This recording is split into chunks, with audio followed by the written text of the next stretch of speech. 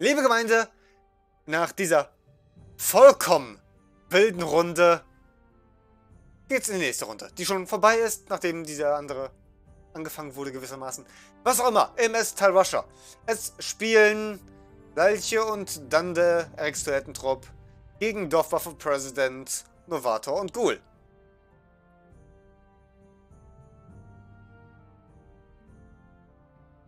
Auf der Karte Talwasher, keine Agreements, kein gar nichts und wir schauen es uns im Replay an.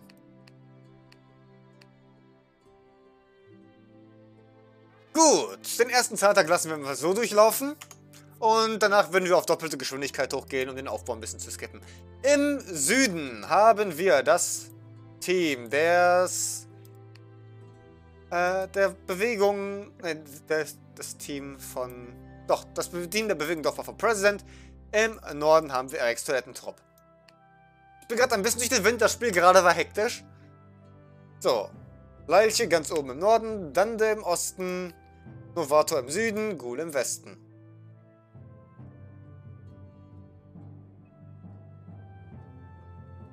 Genau, jetzt kannst du kurz mal tun, Phoenix. Vielen Dank fürs äh, Aufhalten natürlich.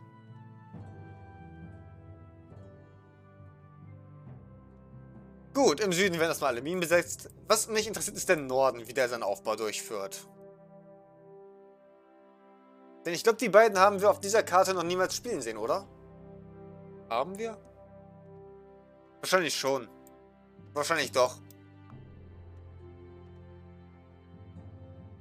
Aber sie sind nicht, äh, nicht ganz so erfahren oder ganz so stark wie das Südteam. Dementsprechend kann man kurz mal sehen. Ich meine, wir haben gegen sie gewonnen. Dementsprechend heißt es automatisch, dass sie nicht so stark sein können wie das Südteam, gegen das wir wahrscheinlich nie im Leben gewonnen hätten.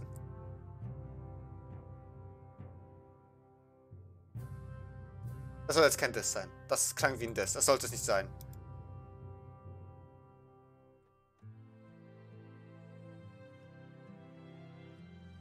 Gut. Marie de und Erek. Die Massenvernichtung wurde gewählt. Bildung ist im Forschungsbetrieb. Zweite Hochschule kommt hoch. Drei Leute sitzen hier dabei, die Minen zu bauen. Steingrube und Lehmgrube wurden eigentlich noch nicht gebaut. Die gehen wahrscheinlich jetzt gleich zur Steingrube runter, die hier gleich zur Lehmgrube. Es, wurde, es wurden drei, Leibeigen, äh, drei Leibeigengruppen aufgeteilt. Interessant. Bei dann, da haben wir einen standardmäßigeren Aufbau. Gut, die Hochschulen werden in diese Richtung gesetzt, nicht in diese. Okay, die Hochschulen werden hier einmal drumherum gezogen. Das heißt, das ist schon mal ein bisschen abweichend vom Standard. Die Hochschulenplatzierung bei Leiche ist das schon standardmäßiger. Gleichermaßen haben wir es hier bei Ghoul. Wobei Novata auch seine Hochschulen hier außen rumzieht. Das heißt, die werden wohl mit den Zieglern ein bisschen im Weg stehen.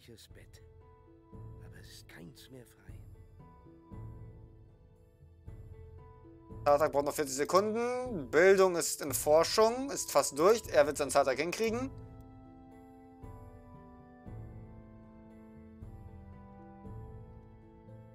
Zartak wird hier drin sein. 840. 860, 960, 960, 440, das ist noch drin. Da ist tatsächlich noch alles drin. Alle Minen können besetzt werden. Hier war das nicht ganz drin, weil... Ich bin mir ehrlich gesagt nicht ganz sicher. Ich habe das Gefühl, die Minen könnten eher fertig gewesen sein oder hat mit den Hochschulen irgendwie... Irgendwas hat auf jeden Fall nicht ganz gepasst. Deswegen hat er nur einen 840er Zartak hingekriegt. Aber alle anderen kriegen, glaube ich, wobei... 69. Okay, alle kriegen den perfekten 69er hin. Wobei es bei Leisi nicht ganz geklappt hat. So. Ab dem ersten Zahltag können wir jetzt gewissermaßen eine 2 da rein tun. Wir gehen mit doppelter Geschwindigkeit hier durch. Damit wir ein bisschen besser sehen können. Wir haben den Talosha-Aufbau schon mehrmals gesehen. Wir sind im Replay. Und das Ganze muss ja nicht Ewigkeiten dauern.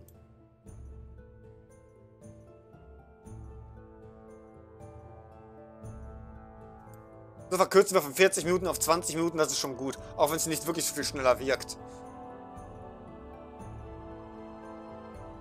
Eric und Marie Montfichet wurden ebenfalls von Novator gewählt, ebenso von Ghoul. Hier steht bereits die Sägemühle, das Dorfzentrum. Da ist Leicheren dran hängen geblieben. Er hat zuerst die Geschichten gebaut, dementsprechend stagniert er und kann hier keine Leute reinkriegen.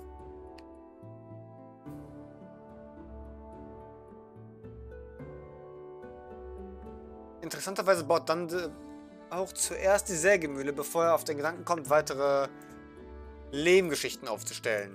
Er hat aber seine Kapelle schon stehen. Kapellen werden im Süden auch gerade hochgeprügelt. Und stehen gewissermaßen, die werden halt versorgt gerade.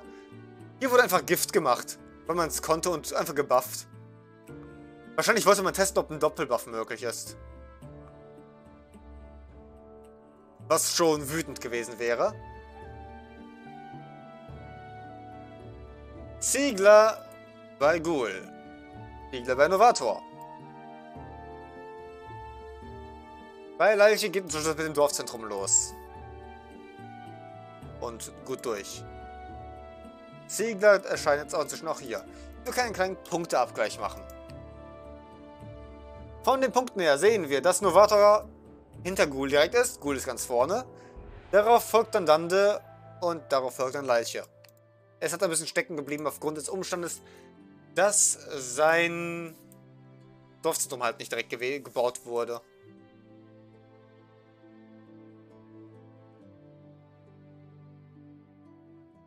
Gönnt sich inzwischen ein zweites Dorfzentrum.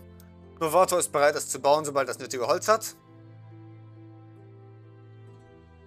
Dande wird es gleich brauchen. Das heißt, er müsste es jetzt... Ah, er hat den Ziegel zu früh gebaut. Wobei, ihr könnt die Steuern noch zusammenkriegen für den Zahltag. Ihr bleibt eigentlich jetzt auf dem Weg... Jetzt, jetzt hat es zu spät gebaut. Jetzt stagniert er gleich mit dem nächsten Zahltag. Das ist ein Problem, das bei Leiche nicht auftreten wird. Er baut sein Dorfzentrum rechtzeitig auf.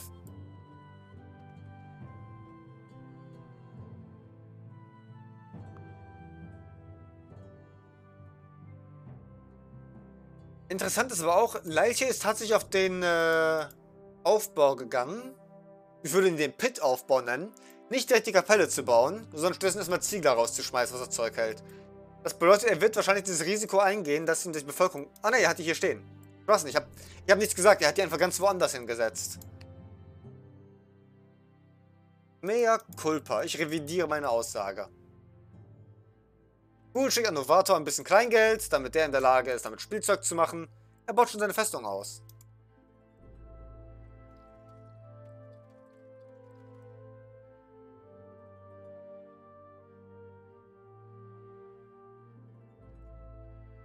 Damit verfügt Ghoul über die erste Festung, direkt gefolgt von Novator. Und dann kommt jetzt Dande.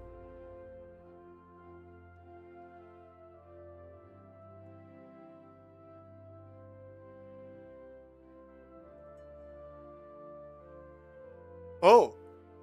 Leicht eine Ziegelte gebaut, sie wieder eingerissen und wieder hingebaut. Wahrscheinlich ein Missklick. Oder, die, oder er hat die gebaut und dann realisiert, er konnte sie doch bauen. Weil er jetzt wahrscheinlich die abreißen wollte, um die Steine zu sparen irgendwie.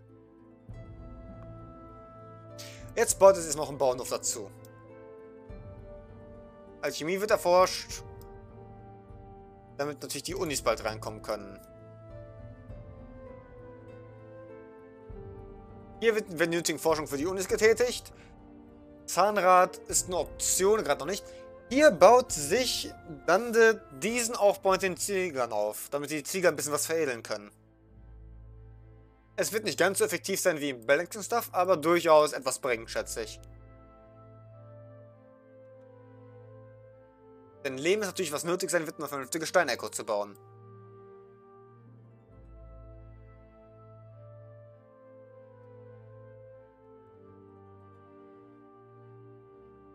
Und da kommen jetzt weitere Ziegler dazu.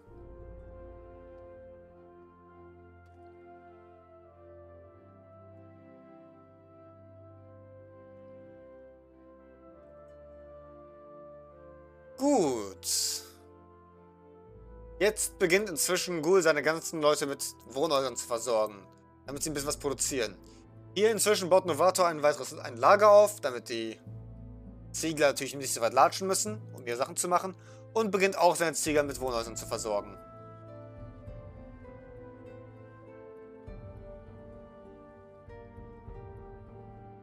Des Weiteren tauchen hier noch weitere Ziegler auf. Interessant. Du willst wahrscheinlich wieder massiv an Steinen sammeln. Dann hat die Ten äh, Leiche hat die Tendenz, die Bauernhöfe immer zuerst zu bauen. Ich meine, ich verstehe, warum. Sind das teurere Gebäude und sie sind schwieriger einzuplanen, was Platz angeht. Aber das ist nicht ganz so hilfreich manchmal, weil die halt teurer sind und nicht so viel bringen wie Wohnhäuser.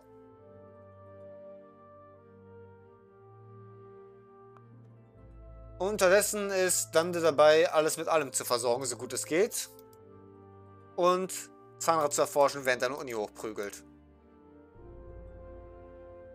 Buchdruck ist bei Novato inzwischen in der Forschung.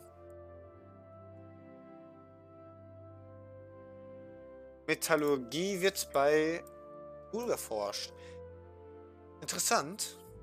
Was will er so früh mit der Metallurgie schon? Der Stelle von Zahnrad vor allem. Ah ne, er hat Zahnrad schon, klar. Ich meine anstelle von Buchdruck. Jetzt beginnt Guni seine Steinecke aufzubauen.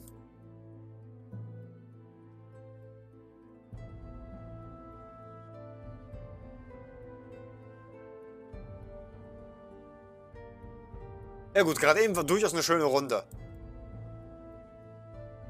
Es ist halt immer interessant, wenn zwei Teams, die sich ungefähr ebenbürtig sind, aufeinandertreffen. Und besonders, wenn diese beiden Teams nicht zu stark sind. Wenn zwei schwächere Teams aufeinandertreffen, finde ich das Spiel meistens interessanter, als wenn zwei starke Teams aufeinandertreffen. Denn bei den Starken ist es meistens so, die Schlacht wird geschlagen und danach ist klar, wer es wahrscheinlich gewinnen wird. Bei den äh, schwächeren Teams kann man niemals ausschließen, dass noch größere Fehler passieren oder andere Sachen irgendwie übersehen werden und dadurch das Ganze in ein ewiges Hin und Her eskaliert.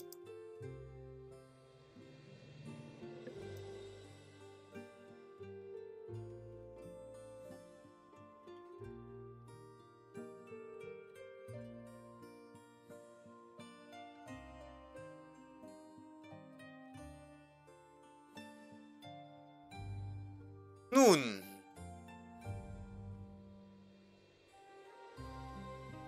Bei Sende geht es ganz gut voran mit dem ganzen Veredeln, wie es aussieht.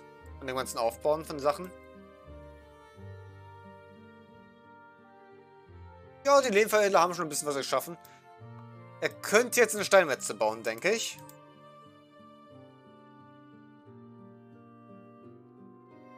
Was durchaus wahrscheinlich eine hilfreiche Sache wäre. Wenn er überhaupt auf Steinmetze geht. Wie geht's hier inzwischen? Die Motivation ist immer noch niedrig. Aber die wird sich wahrscheinlich gleich fangen. Buchdruck ist erforscht und da baut Leiche seine Uhren. Ghoul fängt jetzt schon an seine Eisenecke aufzubauen, weil wir, wie wir wissen, ist eine Eisenecke eine sehr, sehr langsame Bitch. Die braucht eine Weile, um vernünftig anzulaufen, dementsprechend ergibt es Sinn, die schon zu bauen. Auch seine Schwefelecke beginnt dann schon aufzubauen, wenn seine Steinmetze hier weiter seine Steine zusammen veredeln.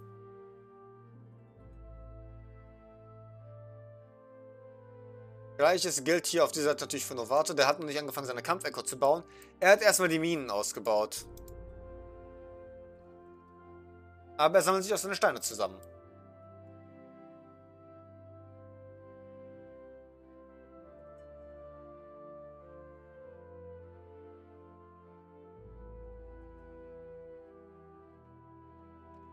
Ghoul verfügt nun über die Zitadelle.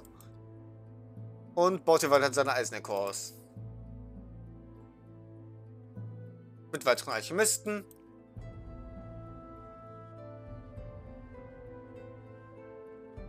Bei Innovator sind die Steinmetze auch schon alle ausgebaut. Und jetzt geht's in die Schmiede-Echo bei ihm hoch.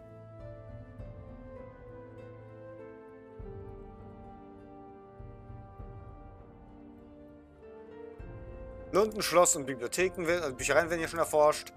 Uhren gehen hoch. Hier geht jetzt der auch schon in Auftrag. Die Uni ist gewichen. Und wird sich eine Alchemistnote ersetzt. Eine Alchemistnote hier. Ich sehe, worauf Leiche hierbei hinaus will. Die Leute gehen nach dem Essen dann erstmal hier hin. Wobei ich... Ich weiß nicht, gehen die zuerst essen oder gehen die zuerst äh, schlafen? Ich meine, beobachtet haben, dass sie immer zuerst essen gehen, bevor sie sich schlafen legen und dann wieder vorne loslegen. Wir können gleich mal schauen. Wir achten auf diesen Ziegler.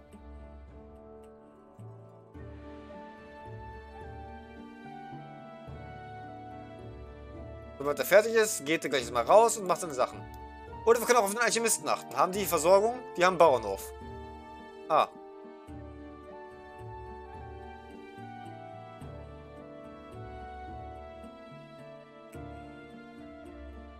Feuer, essen, schlafen. Ach so, wenn etwas fehlt, gehen die so oder so erst zum Feuer. Verstehe. Und wenn sie alles haben, gehen die zuerst essen und dann arbeiten. Äh, dann, dann, dann erst schlafen. Das, das ergibt Sinn. Wenn ihnen was fehlt, gehen die also immer erst zuerst zum Lagerfeuer, unabhängig davon, was fehlt.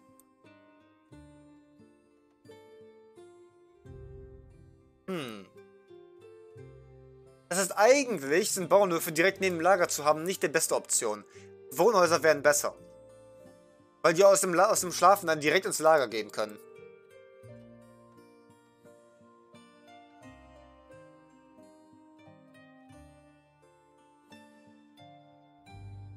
Nur Wort hat den Steinmenge eingerissen und prügelt hier gerade mit Leibeigenen ganzen Kram weg, weil die Haufen weg sind. Er erforscht die nötigen Technologien für Scharfschützen. Bei Ghoul geht die Schwefelecke immer höher. Und die Eisenecho arbeitet richtig hart inzwischen. Wie viel hat die bisher gemacht? 460 abgeholt, 1400 produziert ungefähr. Und es werden natürlich immer mehr Schmieden und die werden jetzt auch alle versorgt. Das bedeutet, die werden ihre Arbeit gut leisten.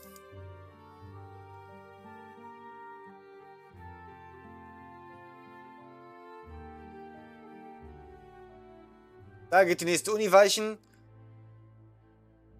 Und der gezogene Lauf ist bei Leiche gleich erforscht. Wie sieht es bei Danda aus? Danda hat sich bereits hier seine Rekrutierungsgebäude aufgestellt, um die nötigen Technologien für seine Truppen zu erforschen. Er baut sich unten eine Eisenecko neben seine Steinecko auf. Hallöchen Sylvanas, willkommen. Willkommen zum Replay. Sobald übrigens die... Sobald übrigens der Waffenstillstand endet, gehen wir wieder auf normale Geschwindigkeit. Kampf wollen wir nicht mit doppelter Geschwindigkeit unterwegs sein.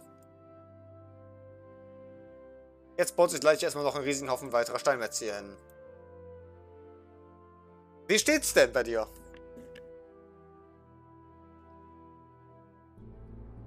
Aber lässt sind auf jeden Fall im Plan enthalten. Okay, jetzt weichen die Unis hier, weil was nichts anderes zu erforschen hat zum Teil.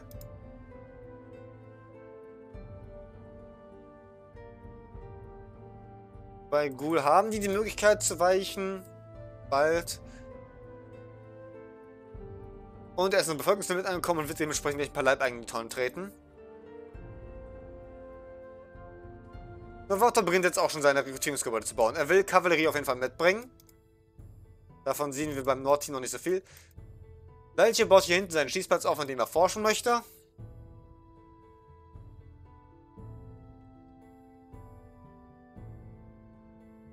Und hier werden weiterhin die Schmieden auch geprügelt. Das Problem ist, diese Schmiede müssen zum Beispiel ewig weit laufen. Ah ne, müssen nicht, die haben Lager direkt hier. Schwachsinn. Gute Frage. Das muss ich mir doch mit Luft absprechen. Also ich will es eigentlich diesen Monat im Verlauf dieser Wochen, die wir noch haben, starten.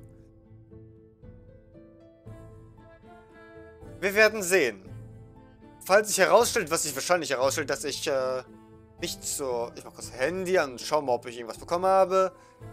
Dass ich wahrscheinlich keinen Key für die... Äh, fürs Playtesting vom neuen Siedler-Teil bekomme. Dann würde ich an dem Tag, am 20. versuchen, das anzustreben. Stattdessen dann einfach Battlefield Gothic Armada zu starten. Aber...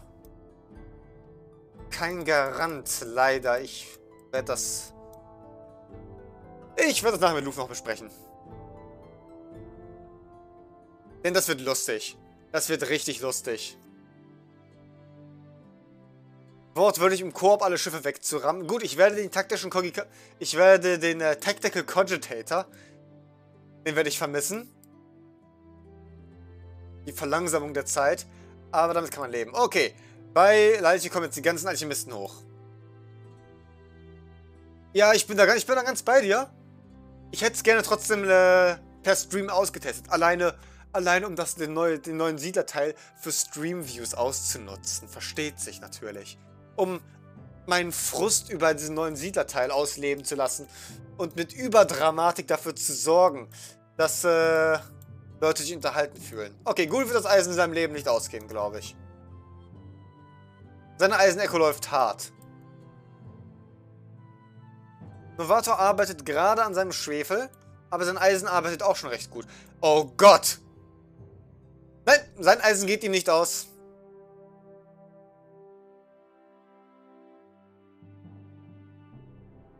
Leiche möchte nicht, dass ihm der Schwefel ausgeht. Seine Armee wird zum Großteil auf Scharfschützen basieren. Zum absoluten Großteil. Er hat keine Schmieden gebaut. Genau, Anno 1701 ist noch offen, sobald ich mit 1602 durch bin. Und das ist ein Problem. Ich will 1701 nicht beginnen, bevor ich mit 1602 nicht durch bin, aber 1602, es zieht sich ein bisschen, gebe ich zu. Es hat nicht den gleichen Spaßfaktor wie Siedler, äh, wie Anno 1503 es hatte. Ich muss mich da einfach einmal durchprügeln und es zu Ende bringen.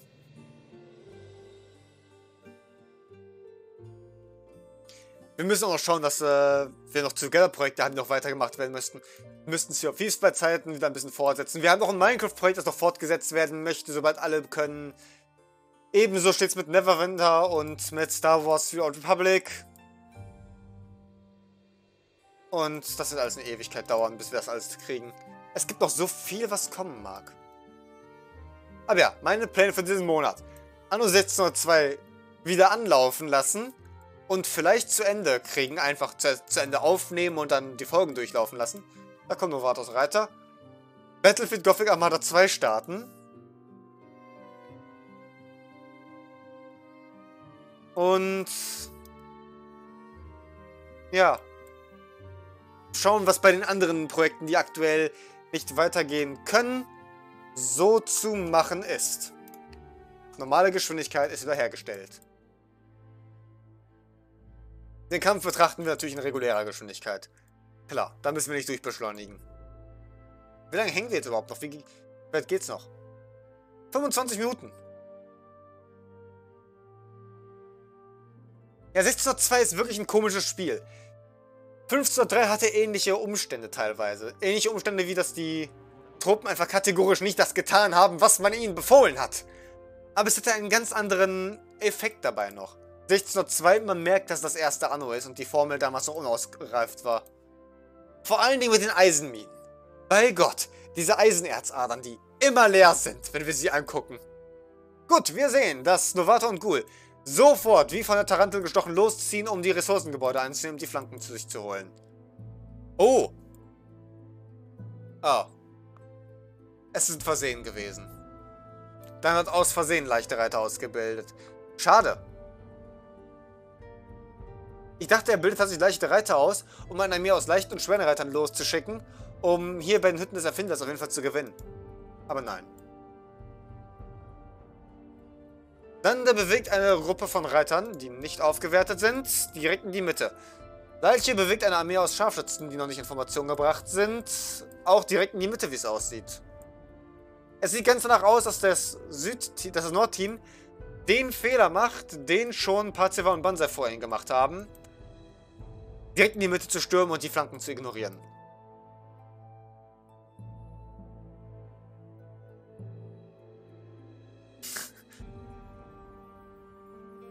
Apropos Knüppel und Steinschleuder. Unser neues Stream-Projekt. Ich werde, ich werde, wie gesagt, am Sonntag versuchen, das Proto-Stream-Projekt zu starten. Oder einen Prototypen. Ein Testlauf des Proto-Stream-Projekten. Des Stream-Projekts, wo wir dann anfangen, äh, Mount and Blade Bannerlord ein bisschen zu spielen. Und um es zu lernen, werden wir gewissermaßen keinen zwangsläufig ernsthaften oder ambitionierten Run machen. Wir werden da... Wir werden uns einen Wag erstellen. Oh, Leich und Dander haben das Schloss erobert. Gewinnen dadurch den zusätzlichen Bevölkerungsplatz. Aber die Brücken. Und die Flanken. Leich und Dante können jetzt in keine Richtung einen vollständigen Angriff durchführen, ohne flankiert zu werden. Genau, und dann werden wir wahrscheinlich einen Wag erstellen als Charakter und versuchen ein bisschen zu plündern. Wir würden einfach mal als Böser spielen in Mount Blade Bannerlord. Und nicht versuchen, Sachen zu erobern, sondern wortwörtlich einfach nur alles zu rauben und zu plündern, was geht. Und zu schauen, was bei rumkommt. Ich wäre gespannt. So, da sind die Reiter von Lalche. Äh, von, von Dante. Die sind allerdings zu schwach, um mit diesen Reitern hier mitzuhalten. Vor allen Dingen mit den gebufften Truppen hier. Schwertkämpfer werden westlich von Novato hier ausgebildet. Ghoul an seiner Flanke bildet Scharfschützen und Schwerreiter weiter aus. Novatos hat fast nicht auf Schwefel gegangen, dementsprechend er will auf Schwerter und Reiter gehen. Und wahrscheinlich ein paar Ballisten mitbringen bei Zeiten, nehme ich an. Nicht danach aus.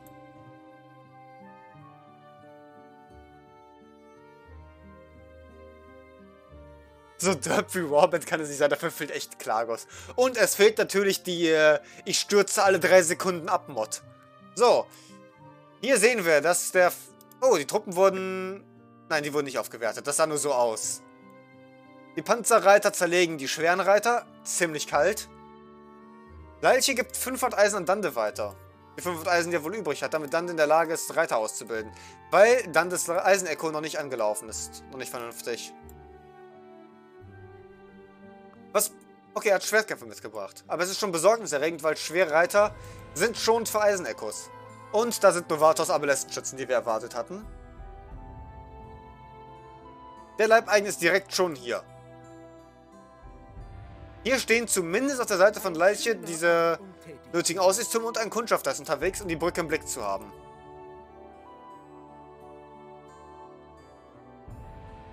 Ghoul macht eine leichte Bewegung in Richtung der Mitte. Und Novator hält so lange noch die Position. Ich stürze alle drei Sekunden ab und brauche 20 Minuten zum Starten-Mod. Oh ja, das war, das war wunderschön. Aber bevor wir unseren tatsächlich ernsthaften Laufen bei einer Lord starten können, wo wir wieder mit Dario Caradia vereinen werden, klar, versteht sich, dann müssen die ganzen anderen Sachen da sein. Denn ich möchte auf jeden Fall die ganzen dynastischen Geschichten und äh, Spielereien, Familienaufzucht und derartige Sachen, die möchte ich drin haben. Hier ist jetzt der Umstand. Das Nordteam ist in einer blöden Situation, denn sie kämpfen gegen eine Armee, die sie komplett wegkontert. Schwere Reiter. Schwertkämpfer. Ein paar Ballessenschützen gegen die Reiter. Gut, die Reiter haben irgendwie so ein Problem hier. Hier ist es eng. Die bleiben hier stecken. Eine Wettermaschine würde dafür sorgen, dass das, Nord dass das Südteam gnadenlos hier durchrennen könnte. Ist sich eine Mühe gemacht worden, eine zu... Nein. Die Forschung wurde nicht gemacht. Bisher. Direkt im Norden die Architektenstube. Oh. Dann das Reiterei ist jetzt ein bisschen gesandwiched. Novatos Reiter sind gestorben. Ich habe kurz geblinzelt und sie sind gestorben.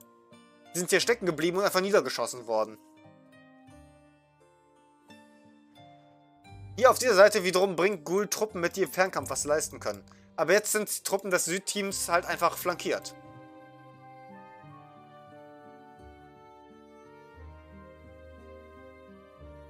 Was der Süden aber hat, sind haufenweise Ressourcen, um diese Truppen zu ersetzen.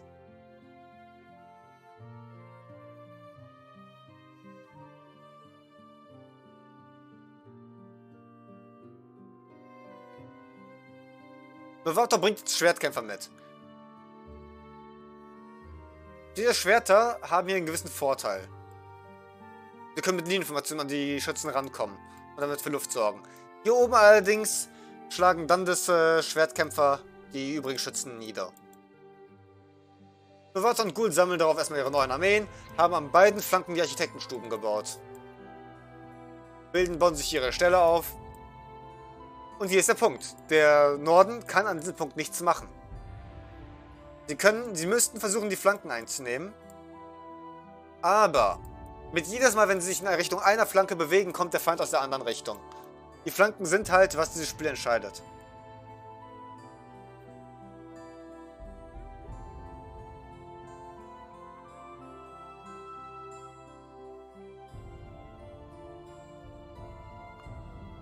Diese Scharfschützen werden, glaube ich, nicht mal reichen, um einen Reitermarsch wirklich aufzuhalten.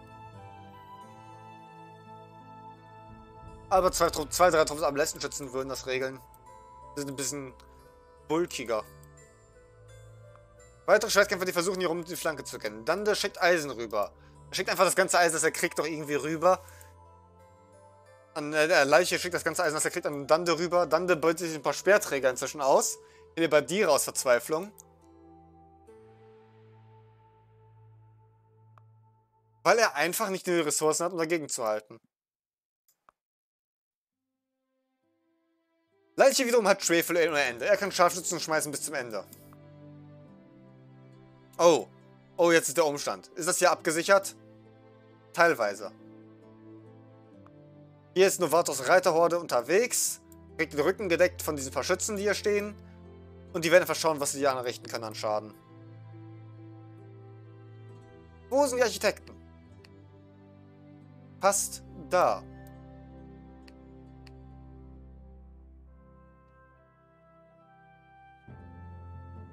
Gut, diese Reiterei wird hier nicht stecken bleiben.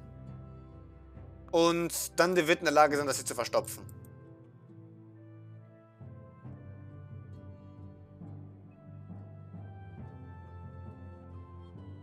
Da kommen auch die weiteren Abelästenschützen. Oder überhaupt Abelästenschützen. Zusätzlich zu diesen hier. Inzwischen hat Dante seine Reiterei aufgewertet und Peile Badiere mit ins Spiel gebracht. Und die Reiter, wie wir sehen, bleiben hier stecken. Jetzt ist eine Frage, wie Novato sich entscheidet, damit umzugehen. Er rennt durch. Weil die, weil die Truppen sich herausbewegen lassen. Kalt. Ganz kalt, aber dann bleiben die hier direkt stecken. Nein, die gehen einfach drum. Die bleiben nicht stecken, diese Reiter. Weil sich hier zu viele Truppen rausgewagt haben. Jetzt kommt Ghoul hinterher, bringt mit seiner eigenen Reiterei. Und einen vollen Angriff um die Flanke hier. Worauf das Süd-Nord-Team antwortet, indem Dande seinen, indem Leicester seinen eigenen kom kompletten Angriff auf die Basis des Südteams durchführt. Was an sich der richtige Zug ist, nur das Nordteam hat die stärkeren Truppen für das, was hier gerade unterwegs ist. Novatos Reiterei ist unterwegs, der Brückenarchitekt ist hier unterwegs. Hier wird die Brücke gerade gebaut.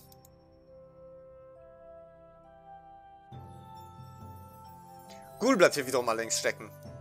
Leich hat ein paar Scharfschützen zurückgezogen und verstopft das Tor.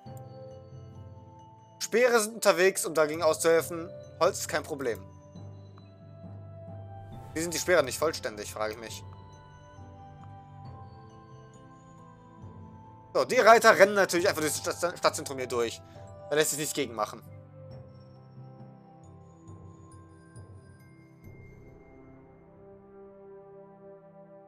Gut hat seine beiden Helden hier hinten auch verloren. Bewahrter könnte Truppen rekrutieren. Aber die Rekrutierung wird wahrscheinlich hier unten nötig sein.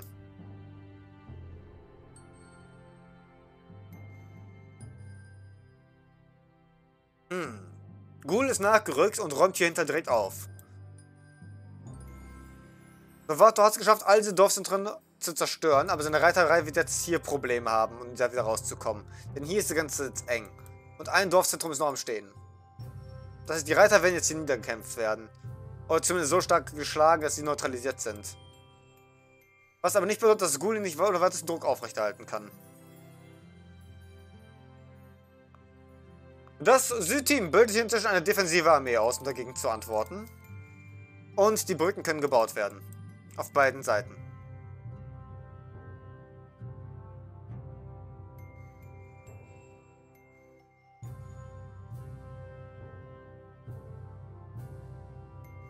Ghoul hat unterdessen das Nordteam bei sich eingeschlossen. Und die haben keine Möglichkeit, was dagegen zu unternehmen. Gut, sie könnten hier versuchen, Truppen zu auszubilden, um hier in den Rücken zu fallen. Aber sind schon am Limit. Und... Oh. Leiches Wag ist in den absoluten Selbstmord gerannt.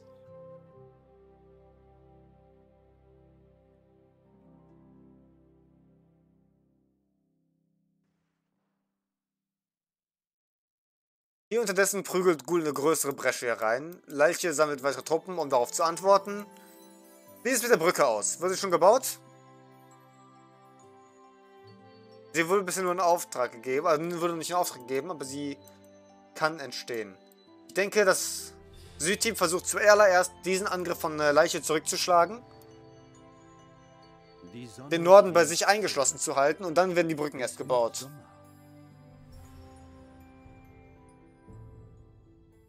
Und aktuell stehen natürlich keine Truppen da. Jetzt allerdings bildet Novato hier seine Armee aus. Dante versucht natürlich die Flanken ein bisschen abzuklären. Aber nein, das sieht nicht aus, als wenn es klappen würde. Darauf antwortet direkt eine Armee von Schwertkämpfern, die frisch ausgehoben wurde.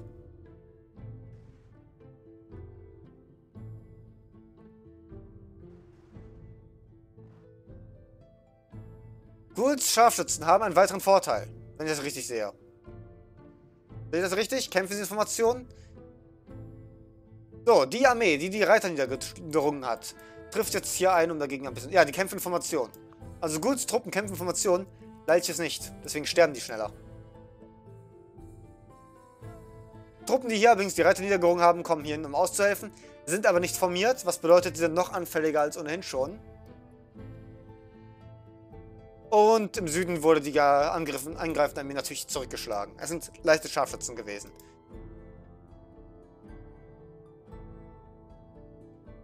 So, die Brücken werden gesehen. Die Frage ist, wird man was dagegen machen? Ghoul hat schon seine Reiterei hier ausgebildet. Und dadurch, dass er den Druck aufrecht erhält, ist Leiches Blick nicht auf der Brücke.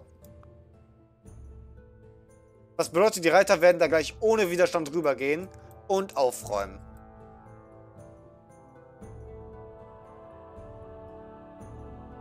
Hinten versucht sich Dande gerade zu erholen.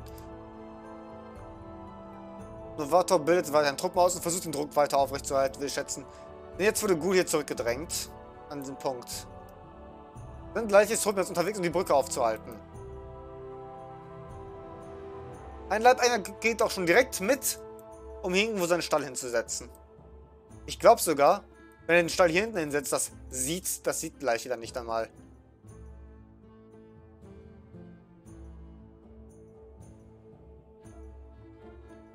Leiche hat das gesehen und bewegt sich. Er schickt auch schon Diebe los, um dagegen zu antworten. In der Mitte wiederum. Novato und Ghoul holen sich die Mitte jetzt, ohne größeren Widerstand. Holen sich auch ihre Helden zurück. Und gewinnen dadurch den Vorsprung, was Bevölkerungsplatz angeht. Das Problem hier ist, es sind leichte Scharfschützen. Die werden nicht viel gegen diese Reiter machen. Wenn sie sich nicht hier dazwischen stellen und die wortwörtlich mit ihren Körpern verstopfen, dann werden diese Reiter da rauskommen. Auf dieser Seite wiederum. Ist die Brücke schon gebaut? Nein, aber sie kann es jeden Moment werden. Hier oben ist die Bresche ziemlich groß. Ghoul löscht inzwischen die Armee hier aus. Oder die, äh, die Dorfzentren hier aus. Novato hat an Ghoul Geld geschickt, weil... Ne, Ghoul hat Novato Geld geschickt. Keine Ahnung. Irgendwo haben sie sich Geld geschickt, obwohl beide jetzt nicht so pleite sind. Diese Reiter hier Sie fühlen sich gemütlich, einfach nichts zu tun. Okay, sind aufgewacht.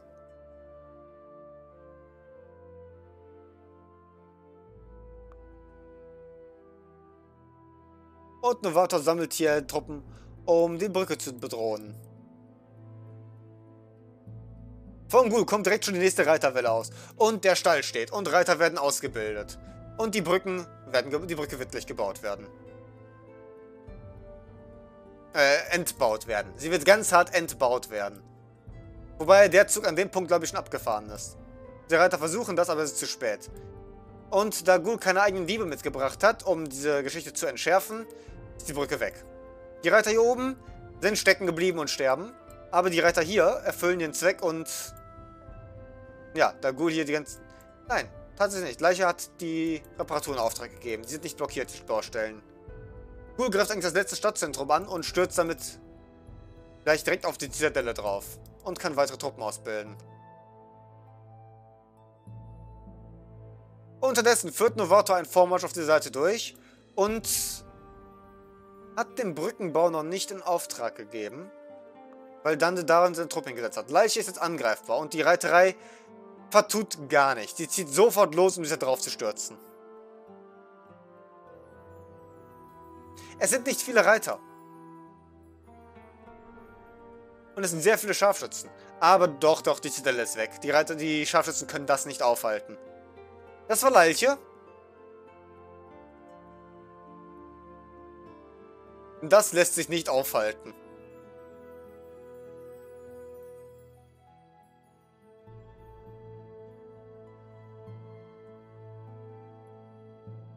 Und jetzt wird es sehr übel für Dande. Leipzig schickt direkt alles, was er hat, an Dande rüber. Und Novato und Ghoul führen direkt jetzt den vollständigen Angriff durch. Dann das Großteil seiner Armee ist hier tatsächlich unten bei der Brücke. Und Novato kann die jederzeit aufbauen. Er könnte sogar die hier aufbauen und... Ja. Da lässt sich wenig gegen machen. Dann versucht sie Dorfzentren hier einzunehmen oder zumindest zu blockieren. Aber Ghoul wälzt einfach drüber. Und hier kommen gebuffte Schwertkämpfer mit Eric rein. Macht Eric seinen Wirbelschlag? Er hat seinen Wirbelschlag sogar schon gemacht. Und Marie hat ihr Gift gezündet und dann wird ordentlich was gelöscht.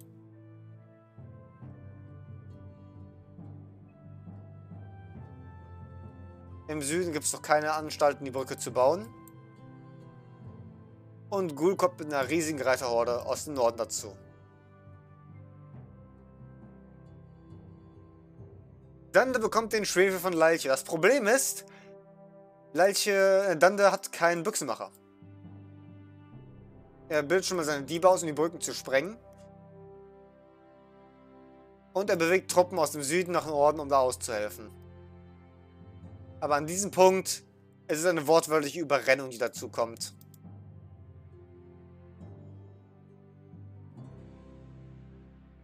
Theoretisch, ja, selbst mit, selbst mit Scharfschützen würde das, glaube ich, hier nichts mehr wenden. An der Situation hier. Ja, Eisenecho ist hier nicht stark genug, um dagegen anzuhalten, was da ankommt. Ghouls Eisenecho ist einfach übermäßig stark. Eben, besonders die von Novato, die ist ja ir irrsinnig. Die hier ist halt nicht stark genug, um mit zwei Armeen mitzuhalten. Vor allen Dingen, wenn eine Armee aus schweren Reitern besteht, die einfach gnadenlos alle Schwertkämpfer ausrationalisiert, die existieren. Und äh, die andere aus guten Schwertkämpfern, die all die Schützen weg, äh, die, äh, die all die Schützen wegmachen, die die Reiter kontern könnten.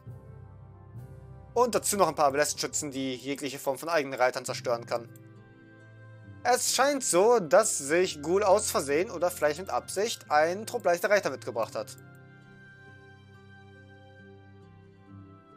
Und jetzt baut Novator beide Brücken gleichzeitig und bewegt seine Armee in Position.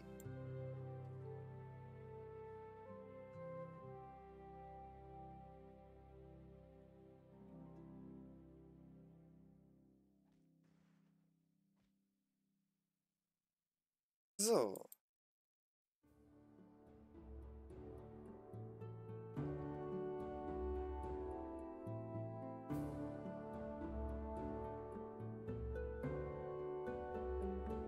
Hier versuchen sich direkt die Leibeigen gleich über die Brücke zu schmuggeln, wie es aussieht.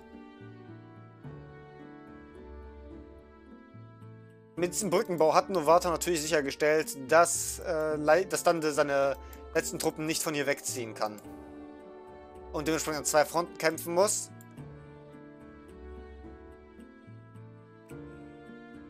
Gut, die Reiter über diese Brücke zu schicken, war vielleicht ein bisschen selbstmörderisch. Die Abelästen können hier ordentliche Arbeit jetzt leisten. Der Dieb wiederum ist einfach drin stecken geblieben und gestorben. Einfach zerquetscht worden von der Masse an Truppen. Apropos Masse an Truppen. Eine absolute Dampfwalze des Todes zieht gerade aus dem Norden nach Süden. Lande versucht seine Truppen im Süden zu sammeln, wie es aussieht, und neue Diebe auszubilden. Die zweite Brücke wird gesch... Uh, ganz knapp. Novato hat es ganz knapp verhindern können. Und einige seiner Schwertkämpfer sind über die Brücke drüber gekommen. Aber er bildet keine weiteren Truppen hier unten aus, die dagegen noch Druck aufrechterhalten sollen. Das hier ist eine Ablenkung. Nicht viel mehr und nicht viel weniger. Gut hat hier oben noch eine Reiterhorde stehen, die in der Lage wäre, hier unten auszuhelfen.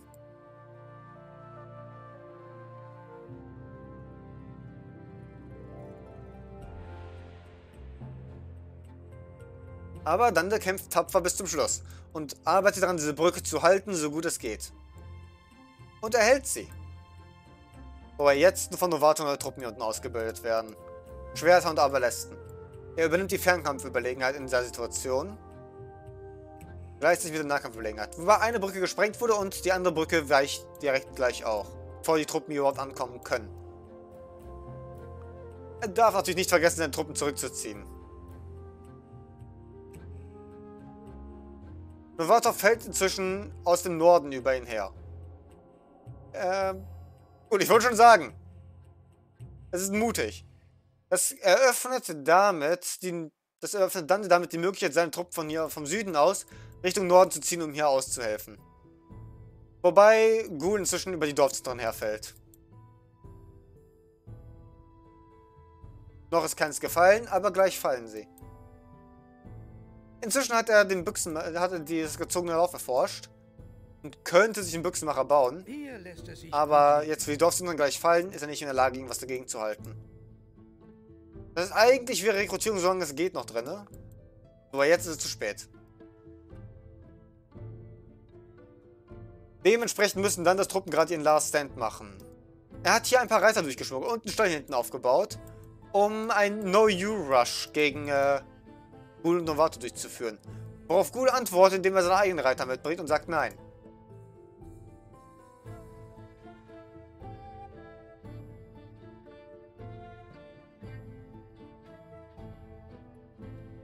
Und zumal sein Station, seine Zitadelle jetzt angreifbar ist.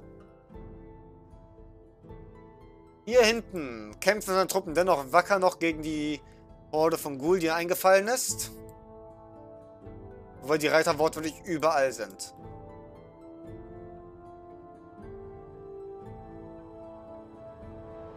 Wie weit kommen die hier eigentlich noch? Ich denke auch, dass unter dem Bracket jetzt noch zwei sehr spannende Spiele passieren werden. So, die Zitadelle wird von Schwertkämpfern belagert, die natürlich nicht so stark sind. Er könnte einen Buff raushauen, damit das einfach instant passieren würde.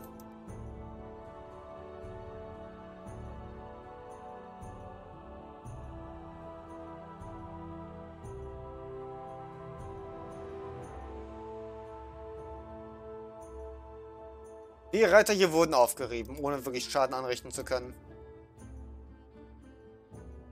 Dann versucht seine Gebiete wieder aufzubauen, aber wie viele Steine hat er noch, um das zu machen? Oh ja, er hat, alle Steine, hat allen Steine der Welt dafür.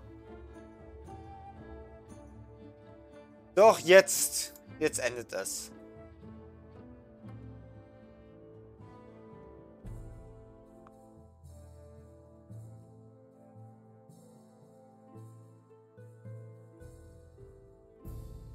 Es war auf jeden Fall ein schönes Spiel zu sehen. Und damit ist dieses Spiel geendet. Das Südteam Dorfbuffer President hat sich gegen Erics Toilettentrupp durchgesetzt. Nun gut, schauen wir uns die Statistiken einmal ganz kurz an. Ein Überblick über die Gesamtpunkte verrät uns, dass Ghoul ganz vorne war. Gefolgt von Novator, gefolgt von Dande, gefolgt von Leiche. Militärisch gesehen waren die meisten Punkte bei Ghoul, darauf gefolgt von Novator, welche folgt darauf und dann folgt Dande, wobei die beiden sich fast gleich auf sind. Gesamtpunkte, die Bauernhöfe, die Wohnhäuser und die Arbeitsplätze. Die Gesamtgebäude hier, so. Soldaten. Zwischenzeitlich hatte Leiche echt sehr, sehr viele Soldaten. Ein gutes Stück mehr als das Nordteam. Äh, Südteam. Aber es waren leichte Scharfschützen ausschließlich leichte Scharfschützen, während die Armee aus dem Süden aus zum guten Teil aus Schwertkämpfern, äh, aus schweren Reitern bestand. Und Schwerreitern, Schwerreiter sind natürlich weniger Soldaten und sie schlagen Scharfschützen.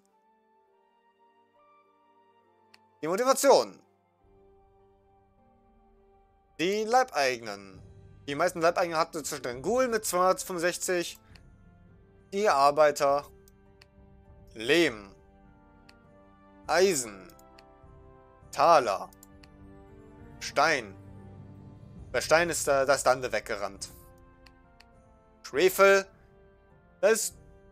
Nein, jetzt krieg ich Schluck auf. Da ist Ghoul weggerannt.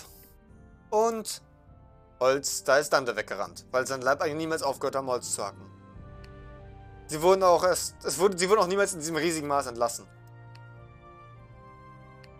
72 Gebäude wurden durch Ghoul zerstört, 16 durch Novator. 76 Gebäude wurden verloren durch Lande, nicht ganz so viel durch Leiche. 544 Leute wurden von Ghoul erledigt, 433 von Novator. Darunter befindet sich Leiche mit seinen Scharfschützen, natürlich besonders in der Mitte durchaus was machen konnten, weil die Nahkämpfer nicht rankamen. Dann kam Dander. Die größten Verluste hat Dander erlitten mit 612, die geringsten Verluste hat Novato mit 319. Hier der Gesamtpunktestand. Dann noch die Statistiken darüber, wer was verdient hat. Ausgeteilter Schaden. Ghoul mit 141.000, Novato mit 92.000. Schaden an Einheiten 81.000 von Ghoul. Danach kommt diesmal Leiche. Danach kommt tatsächlich dann äh, Dande. Und dann ganz unten Novator mit 64.000 Schaden an Einheiten. An Gebäuden wiederum hat Novator den zweitmeisten Schaden mit 28.000, wenn Ghoul mit 60.000 den ersten hat. Die meisten Angriffe von Novatos Schützen durchgeführt, würde ich schätzen. Und seine Schwertkämpfer natürlich auch. Und hier sehen wir, anfangs hat Lalche ziemlich positiv gekämpft. Sehr positiv. Und insgesamt hat Lalche sogar positiv gekämpft. Dande hat am Anfang so ein bisschen was gehabt, aber seine... Wo er positiv gekämpft hat, am Sand ist es ab, abwärts gegangen, nachdem seine Truppen Stück für Stück niedergerungen wurden. Und seine Nahkämpfer natürlich auch hart verloren haben in vielen Ecken und Enden. Lalches äh, positives Kämpfen kam zum größten Teil daher, dass er natürlich mit seinen Scharfschützen feindliche Ziele beschossen hat, feindliche Truppen, während diese Truppen was anderes angegriffen haben. Seine Truppen sind nicht wirklich gestorben, aber sie konnten auch nicht wirklich was machen. Daher sehen wir auch, dass er nicht so viel verloren hat. Wobei Novato und Ghoul beide gegen Ende besonders positiv gekämpft haben. Anfangs sind die Reiter oftmals irgendwo stecken geblieben und dann gestorben. Besonders beim Kampf in der Mitte und bei dem einen Reiterangriff auf äh, das Tor. Gesamtpunktestand wieder, aber erst haben wir noch diese Geschichten hier. Upgrades, Verzierungen, Mauern, Dorfzentren-Limit, Technologien, Kanonen, zurückgelegte Distanzen, gegebene Befehle, die meisten gehen an Ghoul, danach Novator, danach Dande, danach Lalche. Handel gibt's nicht ausgetauschte Sachen. Und pro Zeit. Hier hatte Novato kurz mal einen riesigen Haufen von Aufträgen pro Minute. 445 Befehle die Minute. So, damit sehen wir das hier.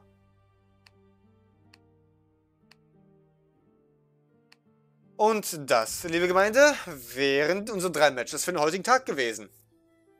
Ich äh, bedanke mich, wir bei allen, die bei YouTube zugeschaut haben. Und äh, wir werden uns beim nächsten Spiel wiedersehen. Wenn...